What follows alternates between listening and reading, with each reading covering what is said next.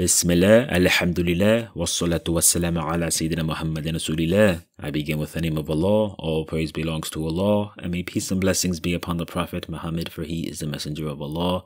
Sallallahu Alaihi Wasallam. Alhamdulillah. Ja'a Umar.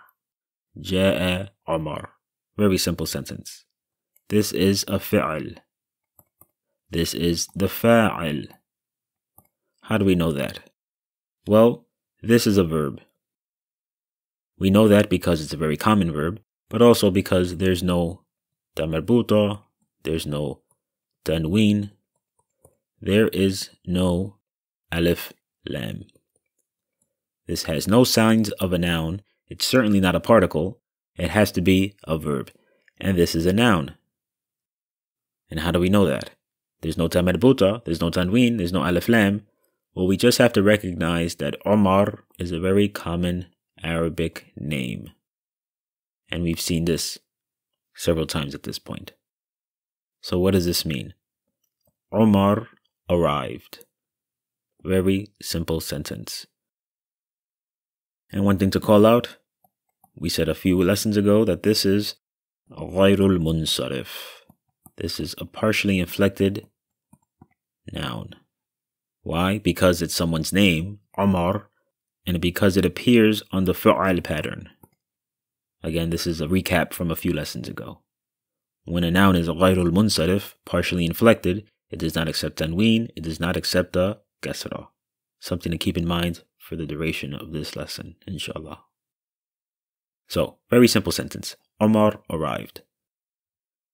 What about this? جاء عمر المدرس. جاء عمر المدرس. What does this mean? Well, same structure. This is the فعل, the verb. This is the فاعل, the action, the doer of that action. But now we have an additional word here. Al-mudarris. Al-mudarris. What is the grammatical function of this word in the sentence? This is a new structure that we're going to learn about in this lesson, inshallah ta'ala. Well, first let's translate this. What does this mean? Ja'a Omar means Omar arrived. Very simple. Al Mudarris means the teacher.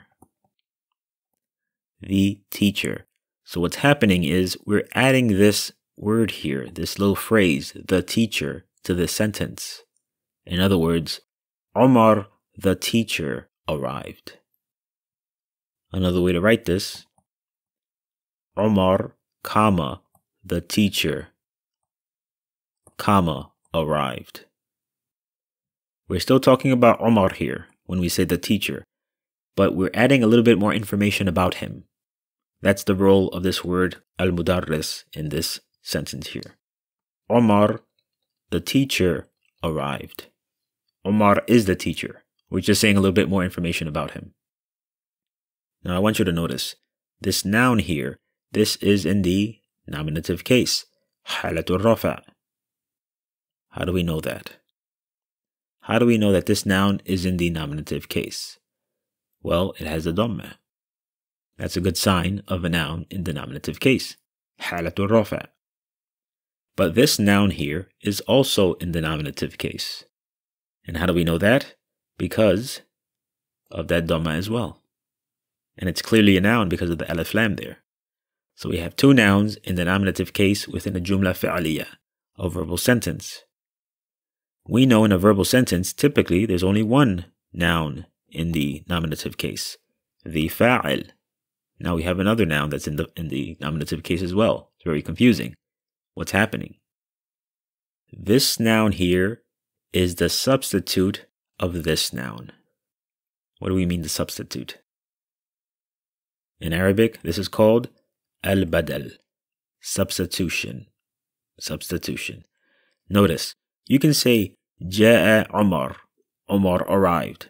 You can also say Ja'a al-mudarris, the teacher arrived. You're referring to the same person in both of these sentences. You can combine them and say Ja'a Umar al-mudarris.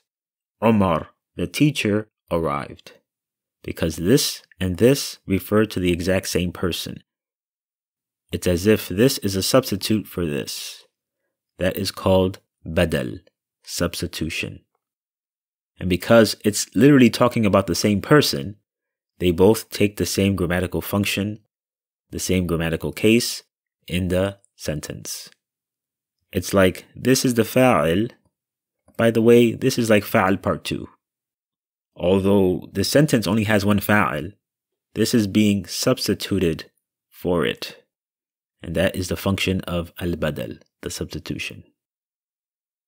And what you'll find is that this substitution oftentimes is just adding a little bit more description to that original first word. Omar arrived is a complete sentence. But when you say Omar the teacher arrived, you're just giving a little bit more description. And this word, it could be many things. For example, you can say Al Mudarris, the teacher. Omar, the teacher, arrived. Let's put the Dhamma here. Or you can say, for example, Al Muallim. Muallim. What does that mean? The instructor. So Omar, the instructor, arrived. Or you can say Al Mudarrib. Mudarrib. Mim, Dal, Ra, Ba. This means the coach, the trainer, depending on the context. Omar, the trainer, arrived. Omar, the coach, arrived. You can say, for example, Al Murshid. Al Murshid. This means the advisor, the counselor, the one who guides. So Omar, the advisor, he arrived. So what we're doing is Omar is the person. We're just adding a bunch of descriptions here. But no matter what we add, this is really the sentence here. Omar arrived. We're just adding descriptions about him. Omar, the teacher. Omar, the instructor. Omar, the coach, arrived. This is interchangeable. Really, this is the crux of the sentence here. And that is the function of al-badal, substitution. It's just giving more information about the main word that we're substituting here, Omar. We can say Ash-sha'ir. This is a sheen. جاء عمر الشاعر. Omar the poet arrived. We can keep going. We can say At-Tajir, the merchant. This is Ta, Alif, Jim, Ra. Ja'a Omar, al-Tajir. The merchant, arrived. Again, we can put any description here, and it's essentially acting as a substitute for this word here. That is the function of al-badal. Or we can say very simply, al-imam. جاء عمر الإمام. Omar, the Imam, arrived. That is how this works.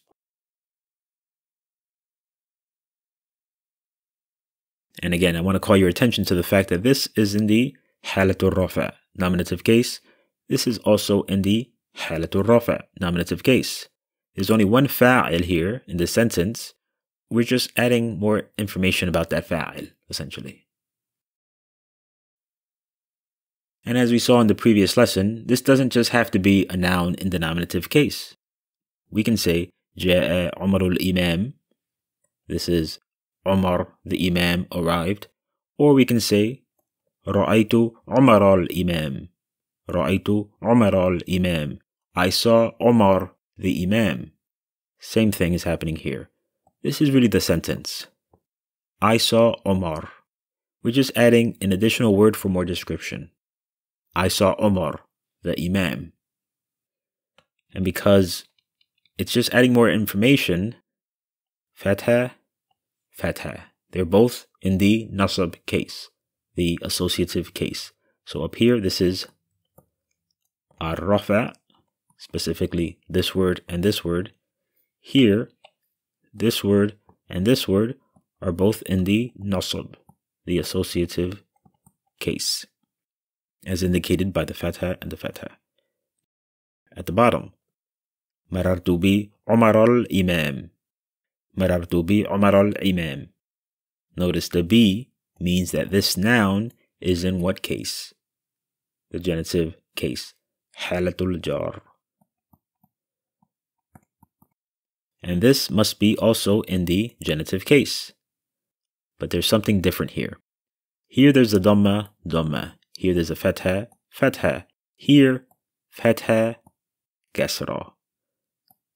Why is there a fatha there? I purposely mentioned it at the beginning of this lesson so that you don't forget it. This is ghayrul munsarif, partially inflected noun. And when you have a partially inflected noun, it does not accept tanween, it does not accept kasra.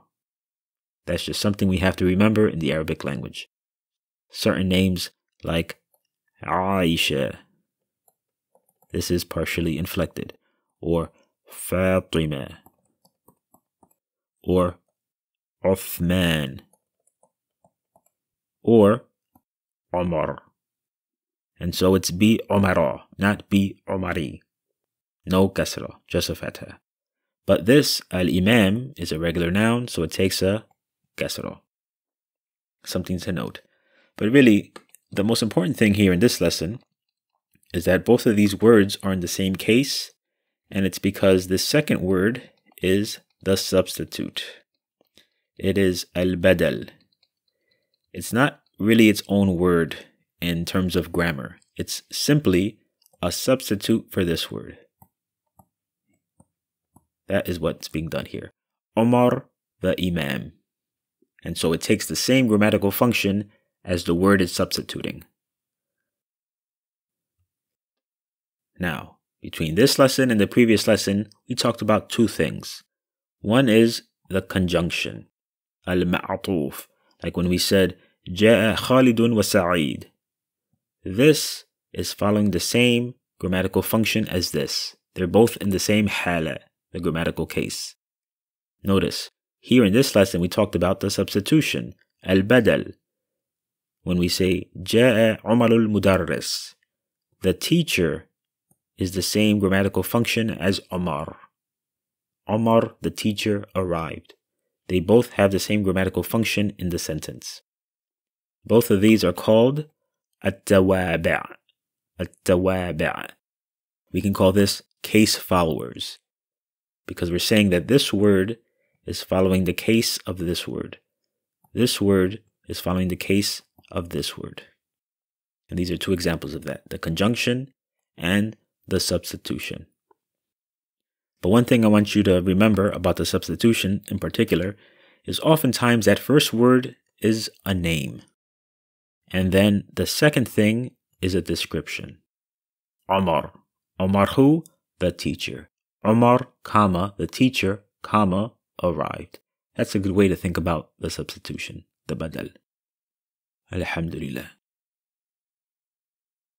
اللهم صل على سيدنا محمد وعلى آله وعلى أصحابه وعلى أتباعه حتى يوم القيامة وسلم تسليما كثيرا